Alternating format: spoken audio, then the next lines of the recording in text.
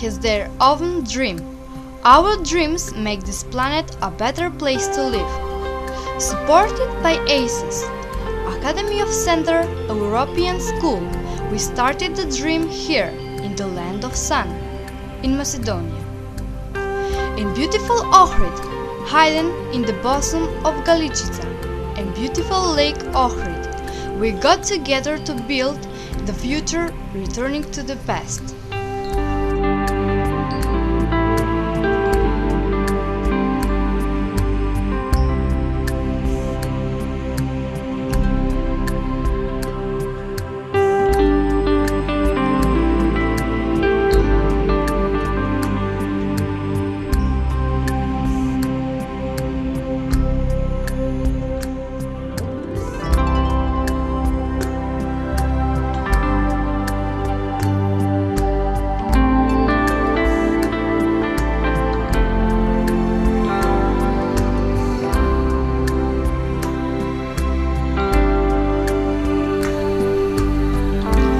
Walking along the cobblestone streets, taking the sun's rays, we become one, forever associated with the invisible thread of friendship. Countless smiling faces, countless curious glances around us. Once we lived in the same state, but we do not been so closer as now.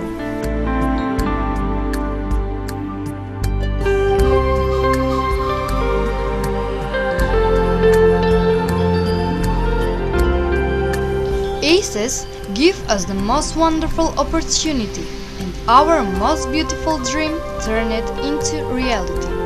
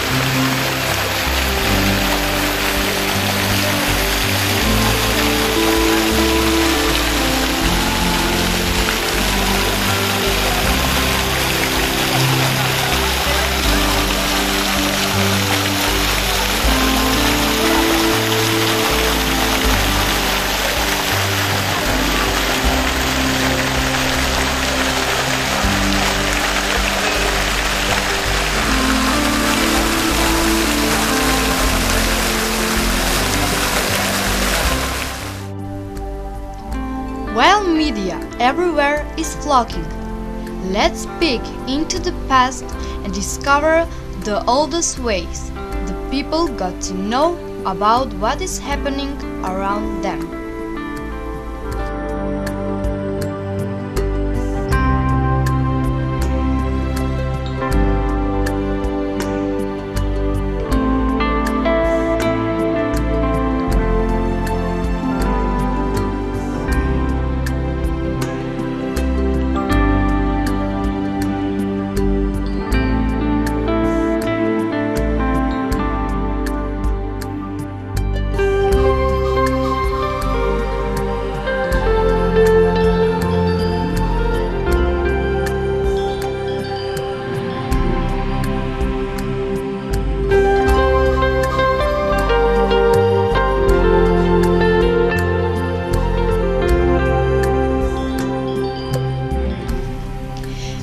Mankind is on the verge to start living on the moon, and we are on the verge of a distant time at the beginning of media literacy.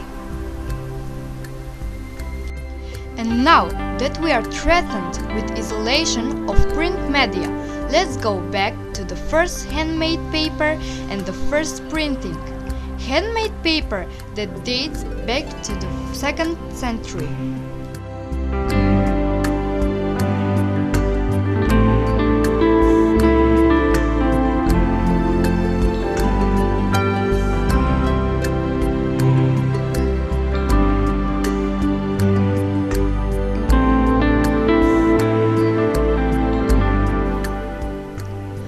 Tradition of making a paper in Macedonia begins from the second half of 16th century in the monastery of St. Naum.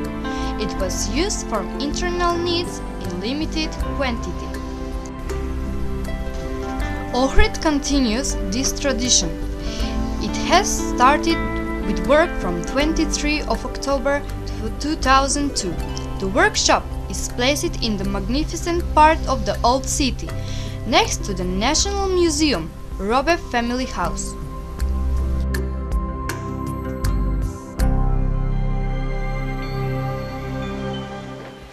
Дали, ева прво ве прашам, дали знаете од што се прави хартија?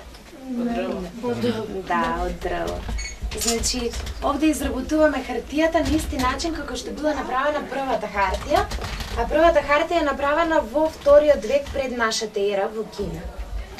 И овде ја изработуваме хартијата на исти начин како што била направена значи првата хартија. Во вториот век пред нашата ера само со ситни влакна од срцето на дрвото и вода само дрво и вода. Меѓутоа дрвото мора да се сече под посебен нагол, кој што зависи од оние природни годови на старост, што ги има секое дрво. Потоа тие ситни влакна се ставаат во вода и стојат во водата а, значи стојат во водата 2 до 3 недели, зависи за кое дрво се работи. И после три недели тие самите природно се спојуваат. Нема химикали, нема лепила како што денес се користат, сосема е природно. Еве сега ќе ви покажам како тоа изгледа. Ова моментално е смрека. Од смрека се добива значи жолтеникава хартија. Например, од дап храст е баш бела. Значи бојата на хартијата зависи од видот на дрвото. А по потреба се додаваат и природни бои добиени со екстракција на цвеќиња внатре во коритото и разни додатоци ради декорација, разни било што што е природно, значи сламки, ливчиња, чаи. Ево можете да ги видите тие ситни влагненца внатре. И сега со потопување на ова сито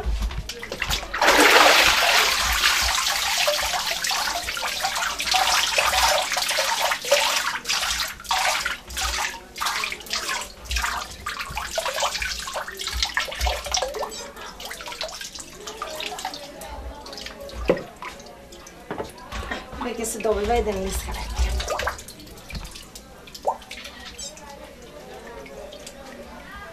Сега се става на овој филц овде, кој што служи за да ја носи хартијата при сушење. Меѓутоа има голема количина на вода внатре, значи повеќе од 60% е вода и затоа се носи под оваа преса за да се исцеди водата. И на крај се суши природно на сонце ден, два до три дена, зависи од временските услови, кој ќе се исуши. Еве, листот а, се одвојува од филцот Меѓутоа, значи не е рамен од сонцето и уште еднаш се носи под оваа преса за да се израме. И потоа веќе готов лист хартија. Значи, Гутенберг е отпечатал првата Библија во 15 век, тоа било првото печатање во Европа. Еве може да ја видите пресата зад вас. Оригиналната се наоѓа во Германија, во Мајнц, две копии се во Европа, ова овде, другата е во Словенија, во Блед. Значи се печати со разни вакви клишеа за да би се добила слика или со оловни букви за текст. На тој начин и Гутенберг ја отпечатил Библијата, значи се редат овде буква по буква, меѓутоа обратно, десно кон лево, потоа се се премачкува со боја, се става лист хартија, се носи под пресата, внатре има оловна плоча и вака со потискање се добива отпечаток. Еве, например, со ова клише би се добила оваа слика или текст со буквите. Сакате да прашате нешто или се ви е јасно? Браво. We left the workshop satisfied and happy that we have learned more about the paper. Walking the streets, we intend to catch the happy moments with a digital camera to stay in our memories forever. By the time we spend together, we become closer and closer to each other.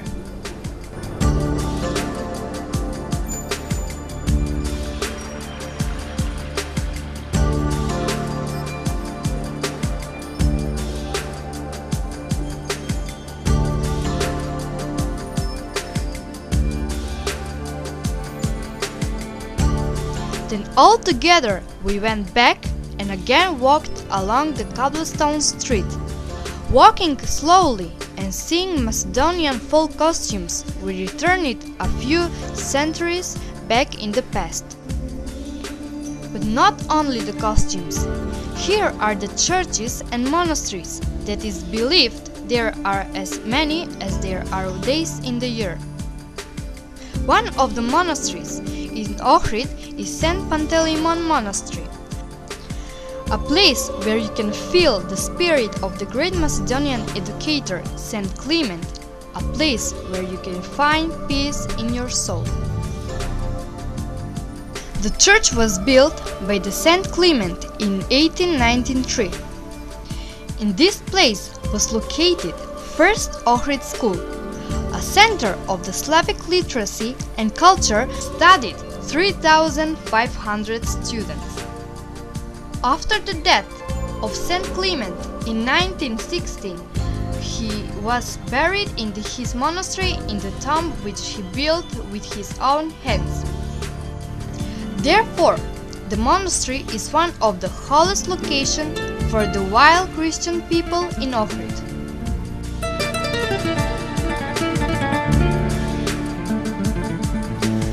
All that is nice has short duration. As the sun slowly ever go west, we left the city of Ohrid and its beauties leaving countless memories all over the streets.